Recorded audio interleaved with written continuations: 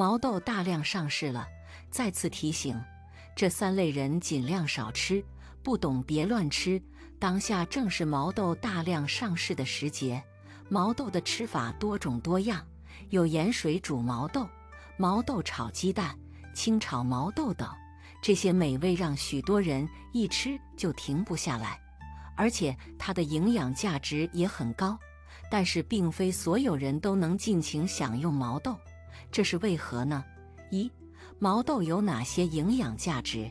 每年的八到十月份是毛豆的成熟期，此时的毛豆水分含量较高，且具有毛豆特有的鲜甜味道，因此在这个时期总能看到毛豆的身影。当然，毛豆本身的营养价值也很高，这也是其受欢迎的重要原因。毛豆被誉为植物肉，其营养价值主要体现在蛋白质上，含量可高达十三。一克每百克，与鸡蛋的蛋白质价值不相上下。更重要的是，其中组成蛋白质的物质与机体蛋白质组成物质相似，所以毛豆被机体吸收利用的蛋白质含量较高，适合大部分人食用。它还富含丰富的膳食纤维，含量比常吃的绿叶蔬菜还要丰富，甚至比小油菜高五七倍。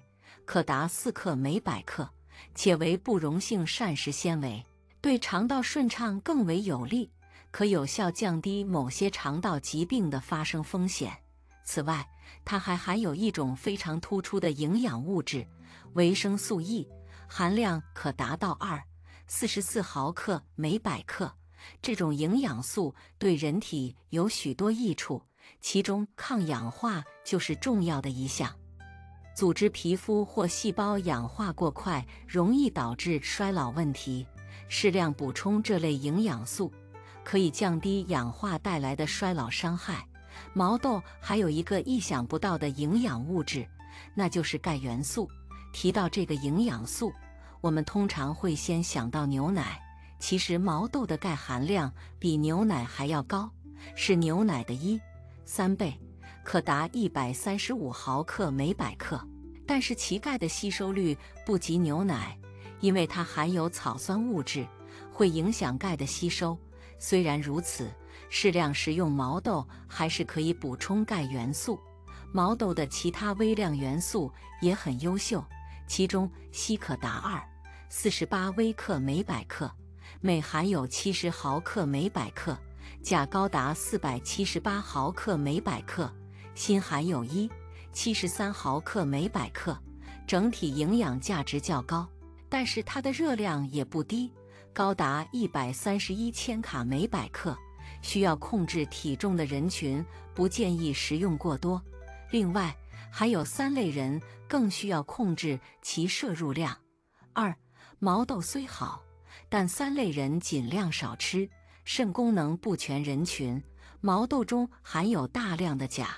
这种物质本身对维护心脏功能和稳定血压水平有积极作用，对于机体多余的钾也能有效排出体外，使钾元素在机体内发挥最大效果。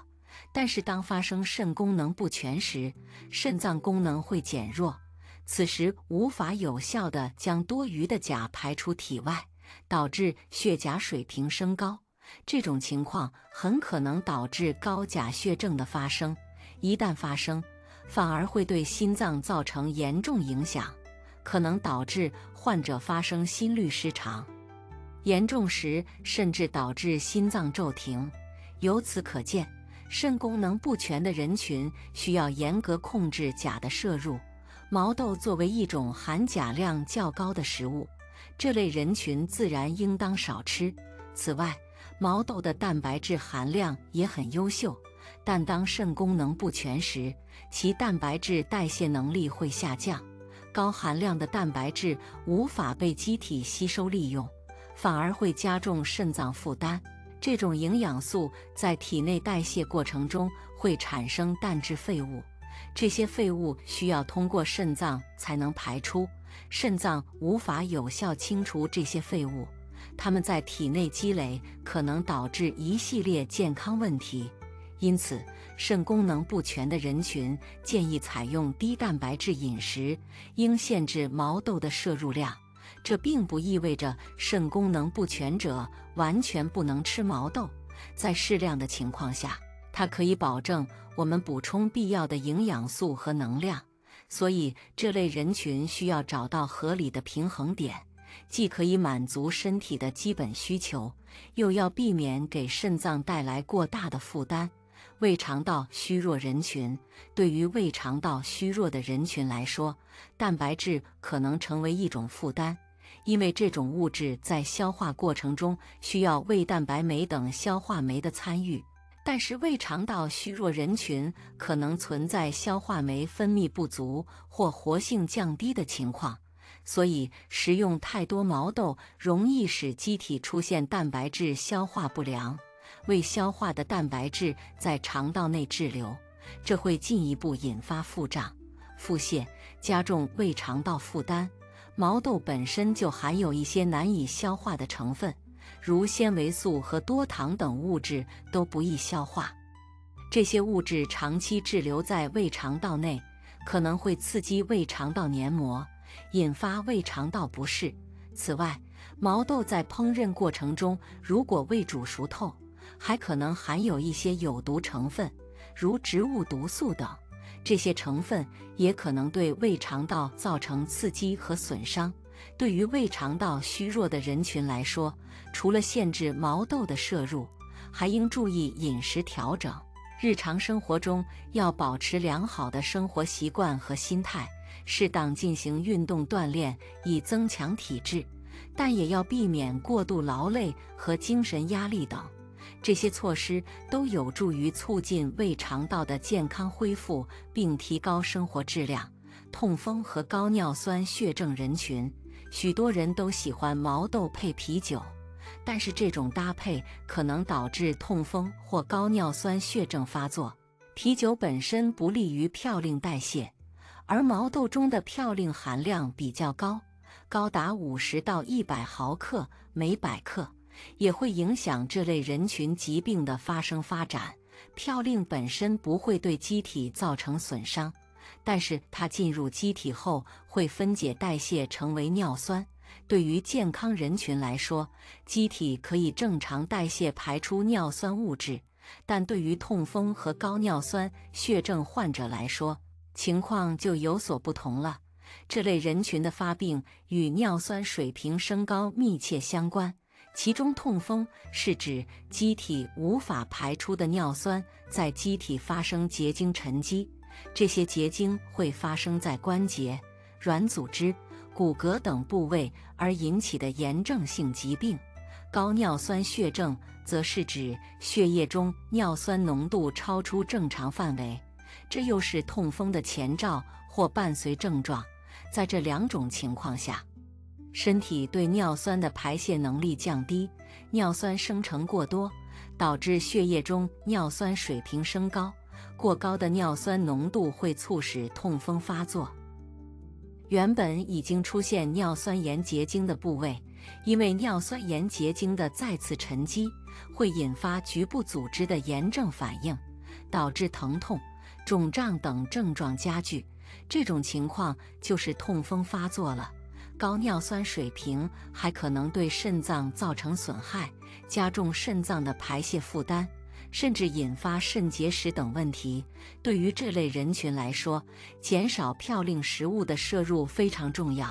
通过控制饮食中的嘌呤含量，可以降低血液中尿酸的浓度，从而减轻症状或减少发作频率，并保护肾脏功能。这类人不仅需要严格限制毛豆的摄入量，还要避免其他高嘌呤食物的摄入，尤其要避免毛豆配啤酒这样的搭配方式。如果喜欢吃高嘌呤食物，建议搭配一些低嘌呤含量的食物。一定要避免高嘌呤食物搭配高嘌呤食物，这会加速使血液指标处于异常状态。建议日常饮食中添加新鲜蔬菜水果，偶尔增加全谷类食物的摄入量，同时选择低嘌呤、高蛋白的食物。这样可以有效保证饮食平衡和健康。更重要的是，要保持充足的水分摄入，建议每天饮用二升左右的水，这也有助于促进机体废物的排泄。如果这类人群存在肾脏问题，可能不适合喝太多水，这时需要咨询专业人士。我们还需要了解正确食用毛豆的方法，这样才能提高食品安全性。三、如何正确食用毛豆？为了保证食用毛豆的安全性，我们需要选择安全、绿色、无公害的产品。所以，购买毛豆可是一个大学问。我们一定要选择新鲜的蔬菜，毛豆也不例外。一般新鲜毛豆的颜色为鲜绿色，应避免选择发黄的毛豆。我们还要观察它的豆荚，一般新鲜的毛豆豆荚不会出现干枯状。我们可以按压豆荚，感受其是否干枯，尽量避免购买已经包好的毛豆米，因为它们可能已经失去了部分营养和新鲜度。购买回来的毛豆应尽快食用。毛豆的烹饪方式对其口感和营养价值有很大影响。毛豆需要煮熟，以确保其中的抗营养物质被破坏，同时提高其消化率。煮毛豆时可以加入少许盐，这不仅能提升口感，还能帮助保留毛豆中的营养成分。毛豆还可以用来制作汤、炒菜等。在烹饪过程中，尽量避免过度添加食用油。虽然毛豆营养丰富，但并非越多越好。适量食用毛豆可以确保我们摄取到足够的营养成分，同时避免过量摄入可能带来的负担。我国膳食指南建议每天摄入杂豆类五十到一百五十克，所以我们建议每日食用毛豆量。不超过一百五十克。对于以上三类人群，更应严格控制摄入量。为了获得更全面的营养，我们可以与其他食物搭配食用，例如搭配富含维生素 C 的食物，柑橘类水果和其他水果一起食用，还可以搭配富含蛋白质的食物，以进一步提高营养价值。由于毛豆含有较高的蛋白质和膳食纤维，建议在正餐时食用，以便更好的消化和吸收。晚上应避免过量食用毛豆，以免加重胃肠道负担，影响睡眠质量。正确吃毛豆需要从选购、烹饪、食用量、搭配和食用时机五个方面入手。掌握这些方法。我们不仅能充分享受到毛豆的美味和营养价值，还能有效避免可能带来的不良影响。但是每个人的身体状况和需求都有所不同，在食用毛豆时，还需根据自己的实际情况进行调整。毛豆大量上市了，提醒大家，以上三类人尽量少吃，以免导致病情加重或者诱发疾病。我们吃毛豆时要坚持正确的方法，以保证食品安全性。秋天正上市，这水果含大量寄生虫，万不可直接生吃。别大意了，秋天是个收获的季节，各种作物、蔬菜、水果都进入收获的时刻，这给我们的餐桌提供了更多的选择，也为我们的秋日进补创造了条件。俗话说：“秋吃果。”要不抓，秋天收获的食物中，果实占据了很大的一部分。不仅有枝头的，还有地下的。比如今天就要跟大家分享一种，眼下正当季，很多人都喜欢买，那就是马蹄。不少人喜欢称之为荸荠，这也是我从小吃到大的一种水果。目前为止，马蹄被认为是我国土生土长的一种植物。在古代主要作为水果来吃，并且曾在饥荒时期被人们用来充饥。随着人们对其了解的逐渐深入，其宝贵之处也被更多的发掘出来。它不仅香甜多汁，还可以入药。《本草纲目》中便提到荸荠能降火、补肺凉肝、消食化痰。当然，随着现代医学的进一步发展，我们也清晰地看到其富含蛋白质、维 C 以及钙、铁、磷等离子，有助于润肠通便、清热解毒、止咳化痰、安神助眠、增强抵抗力等。这些优点都很适合当下的气候，懂吃的人们遇到总会将其带回家。不过，马蹄虽然具有水果的属性，却不像其他水果那样可以直接生吃。这主要是源于其本身的生活环境。大部分水果是生长在树上的，高高挂在枝头，而马蹄却是长在地下的果子，其喜欢温暖、湿润的生长环境。通常是在水田或浅水中，这样的环境虽然有利于马蹄的发育以及营养的积累，却也为寄生虫提供了便利。其实，在马蹄生长的过程中，容易滋生细菌、微生物以及寄生虫，尤其是比较常见的姜片虫。所以在吃之前，我们需要彻底清理干净，并且通过高温加热的方式。来杀死可能存在的细菌以及寄生虫，这样才更加健康。眼下马蹄正在上市，其汁多味甜又营养。下面就来跟大家分享三种马蹄熟吃的做法，味道不减，吃着更放心。秋冬吃马蹄别大意。一、马蹄蒸肉。首先关注马蹄的整体情况，有坑碰损伤的就不要了。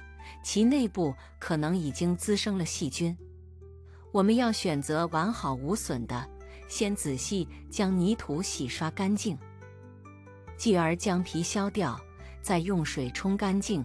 接着将马蹄剁成小的颗粒形状。另外准备好其他的食材：新鲜的肉馅、香菇丁来一点，香葱切一些。把所有的食材装到一个碗里，调入生抽。蚝油、生粉、胡椒粉、香油，先将所有的调味料以及食材都搅拌到一起，再尝尝咸淡，酌情补盐调整。接着准备一块有些深度的盘子，将调好的混合物放到里边，不要用力去压，轻轻放进去就可以。